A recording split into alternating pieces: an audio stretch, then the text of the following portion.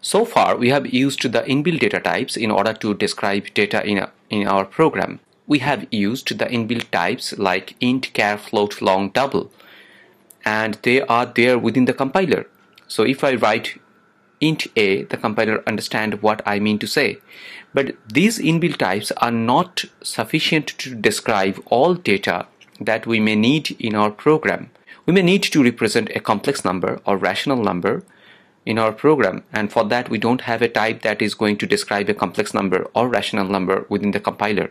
We may need to represent a student data or employee data. And for that the best way is to declare a variable of student type or employee type. But for that we don't have a an inbuilt student type or employee type within the compiler.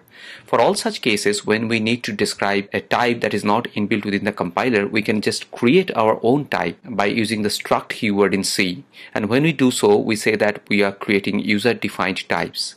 Now, while creating user-defined types, there are two things that we need to consider carefully. Number one, the attribute of the type, and number two, the behavior for the type. The attribute is the value which describes the domain for the type, for example, if we are considering a human type, then obviously the height of the human is an attribute, but smile of the human is actually a behavior for the human. The digest is not an attribute, it's a behavior.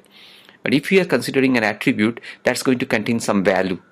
If we are considering student type, then obviously roll number is an attribute, but study is a behavior. If we are considering bank account type, then obviously account number is an attribute for the type. Uh, but the debit and credit operations are going to be the behavior for the type. So when we are going to create our own type for our purpose, then obviously we need to describe both the attributes as well as the operations or the behavior for the type. Let me just elaborate this conception with some example. Say we have this int type given within the compiler and we can create some variable using the int type. So ABC are three variables of type int. We can declare that.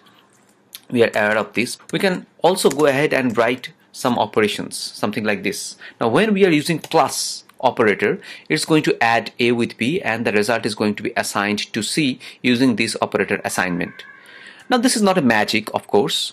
If we are using the plus operator, it's not a magic that these two operands are added. There is a program written against each of these operators within the compiler. Had the integer type was only given and these operators were not given within the compiler, then it would be really hard to use int type variables in our program. Then we would require to write operations for our purpose. Then each time we need to add on integer, then we would require to write the program to for adding integers. That would be really hard. So the creator of the inbuilt types they have supplied the operations with the inbuilt types as well in the form of these operators.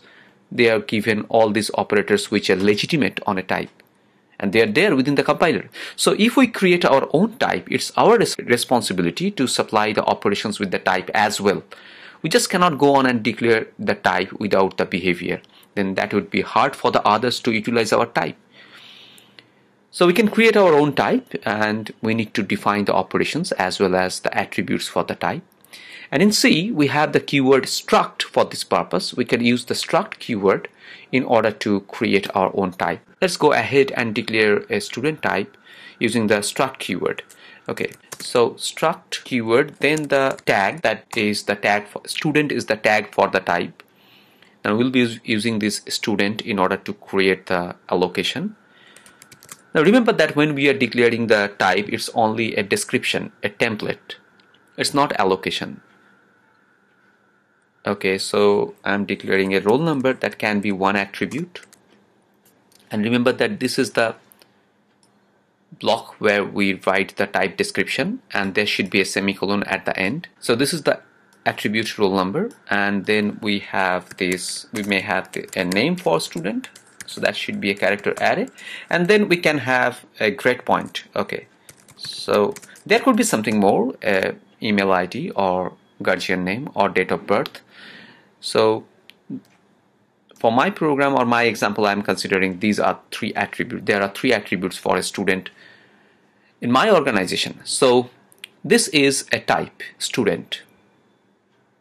Now we have not defined any operation on this student type. We have only declared the attributes. As I said, there is no allocation for this type. Only we have described the type and as far as this description is concerned, this is a template and there is no allocation for this. The allocation only takes place when we declare the objects. Objects are the real allocation for a type. So if I just write student S1, S2 and S3 then each of these S1, S2 and S3 are three objects of type student. That means S1, S2, S3 are real allocation for student type. So in memory there will be three allocations and each of them is going to contain whatever we have described within the structure here. So according to this description that is provided within the structure, the allocation is going to take place. That means S1 is going to have allocation for roll, 4 bytes, then name, an array, and then grade point, a double. So it's going to have these three within the allocation and then obviously S2 is going to have identical uh, allocation because S1 and S2 both are students so they are going to be created according to the description that we have provided there in the struct student template so here also roll name and grade point and similarly S3 is going to contain the same is going to be roll name and grade point now we can access these attributes by using the object name and dot operator and then the attribute name. So if I want to assign say 5 to the roll number of S1 object, so I can just go ahead and write S1 dot, you can see that the pop-up comes with the NetBeans roll equals to 5. So that means I'm assigning 5 to the roll number of student S1 and I can go ahead and assign roll S2 dot roll equals to 10 and I can assign grade point for the first student with 9.5 or 6. So this is how we access individual attributes of objects. But we need to define the operations on this student as well. So the operations comes according to the business rules. So we may need to write a grade printing operation know, where the grade printing operation is going to examine the grade point and then print the grade accordingly. So there may be operations for bank account, as I said, debit and credit for a particular bank account type. There may be operations something like addition for a complex number that we need to write if we are going ahead and creating a complex number type. So in the next tutorial, we will see how we can do that. Thank you.